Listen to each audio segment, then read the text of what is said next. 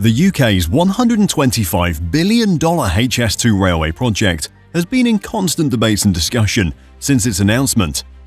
The project aims to revolutionise the country's transport network from London to various northern regions of England, and it has made some surprising recent progress. Here's the latest update as it moves to its next phase in 2025. The UK's vision behind the High Speed 2 railway has been bold and ambitious. When fully operational, this billion dollar railway project is expected to cut down the hours of journey between major cities. This reduced travel time will boost economic growth in the country and provide the country a modern transportation system. What makes this project so important? High Speed 2 Railway is probably the biggest infrastructure project of the United Kingdom in years. HS2 was meticulously planned to construct a high-speed mode of transportation that will connect the City of London with cities like Leeds, Manchester, Birmingham and other English cities. The high-speed rail spans a whopping 230 kilometers with double tracks that will allow the train to operate at a constant speed of 330 kilometers an hour and a maximum speed of 360 kilometers an hour, providing high speed and efficient travel the HS2 railway project can help in the country's evolution by boosting development and economic growth in less connected areas. The reduced travel time between major cities would generate new opportunities, attract international investments, and boost job creation in the country. The biggest positive of this project is that it will bridge the gap between the north and south of the UK. Even though the vision behind HS2 is clear and very ambitious, the road leading to its completion certainly has some bumps, Ever since it was first started in 2017, the project has faced several setbacks. The biggest hurdle in HS2's way is the insanely high cost. The cost of this railway line was initially projected to be around £50 billion, but as time went by, the project is estimated to cost over £125 billion.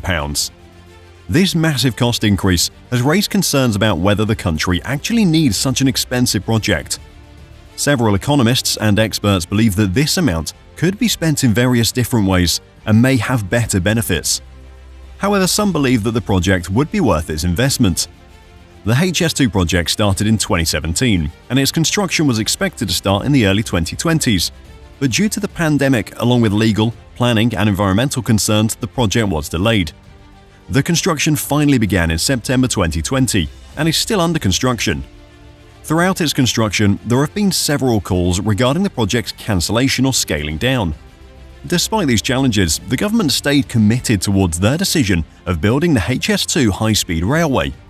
Supporters of the project believe the project has great long-term benefits, which could easily outweigh the short-term costs we'll face. As of 2025, HS2 has entered into a new development phase with certain milestones the construction which started several years back has yielded some great results.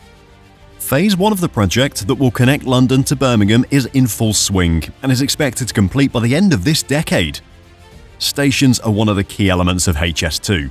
These stations will be designed as futuristic transportation hubs that won't only act as a centre of high-speed trains, but will connect multiple modes of transport like trains, local buses and metro systems. Out of the 10 key stations, the London station of HS2, known as Old Oak Common Station, is already under construction in West London, and it will serve as one of the main terminals of the HS2 project. The station would have a massive 14 platform capacity, which will allow the station to handle millions of passengers each year. By 2025, the platform construction of this station will begin, which is a critical phase in the project. Another key station of the HS2 project is the Solihull Interchange Station, which is located in the West Midlands near the Birmingham Airport. This station is a key part of the project because it can link the high-speed network to local transport services like buses and West Midlands Metro. Solihull Interchange Station's construction will begin shortly in the coming months. The biggest update as of now is the completion of the Chiltern Tunnel, this tunnel is 10 miles long and would pass through the Chiltern Hills, which is an important route connecting the northern areas. The Northolt Tunnel, spanning 8.4 miles and connecting West London and the West Midlands, is over halfway completed. Similarly, the 3.5-mile Bromford Tunnel, connecting northern regions and West Midlands, is completed halfway as well. These tunnels are crucial as they'll ensure HS2's efficiency and speed.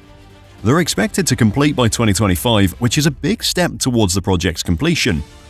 With HS2, the UK government's heavily prioritised passenger comfort. The team behind this project designed detailed mock-ups that prioritised efficiency, accessibility, and passenger comfort inside the train. These mock-ups were then tested by the public, and upon feedback, certain changes were made to ensure that the people travelling in HS2 have ample legroom, comfortable seats, and world-class amenities to make their trips memorable and comfortable. Another aspect which the team put great emphasis on is accessibility. They designed the interior in such a way that people with disabilities have a comfortable trip. Sustainability is another aspect that HS2 would have great emphasis on. The train's interior is expected to have energy-efficient designs, with eco-friendly materials to prioritize sustainability. Throughout the construction, the plan to protect biodiversity, use recycled materials, and minimize carbon emission to keep the environment safe. Water management systems and green landscaping around the stations will be constructed to support sustainable travel. HS2 goes beyond transport. It's a great way of stimulating regional economic growth in the less urbanized areas. Construction of new stations like the Manchester Interchange Station and Curzon Street Station in Birmingham City will not only generate employment but would also boost tourism and businesses in the area.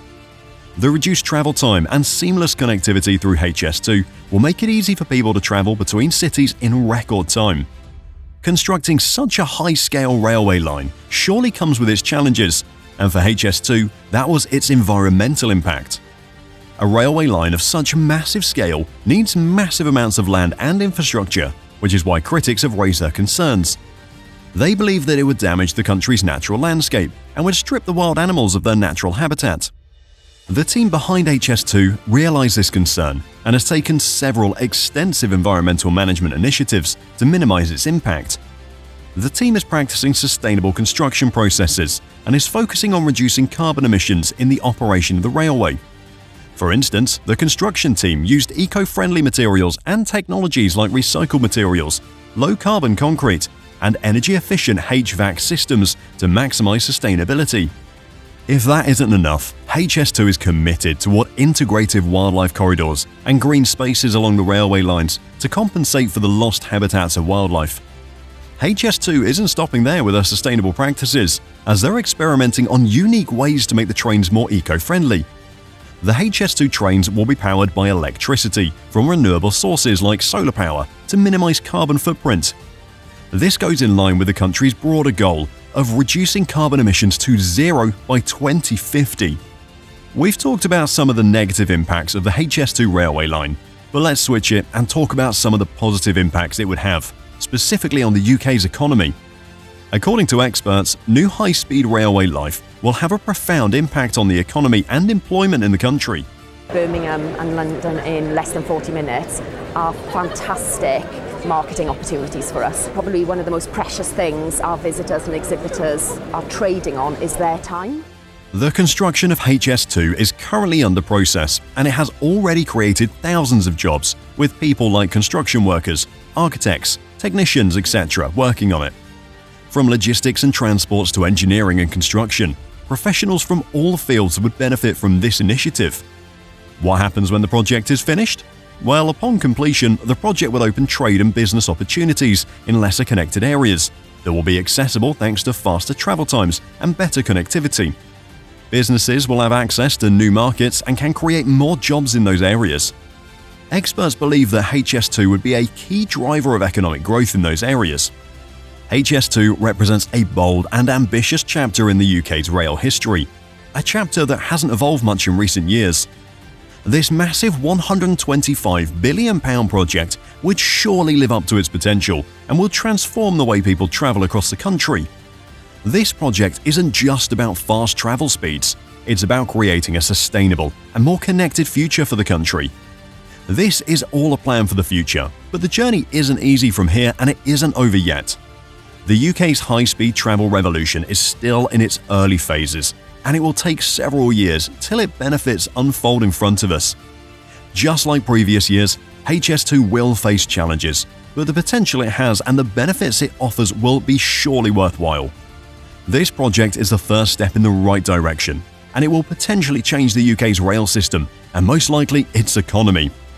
What do you think? Is the HS2 railway a waste of money and natural resources, or will it transform the UK's rail system and economy? Let us know in the comments section below. And while you're there, make sure to hit the like button and subscribe to the channel for more videos like this.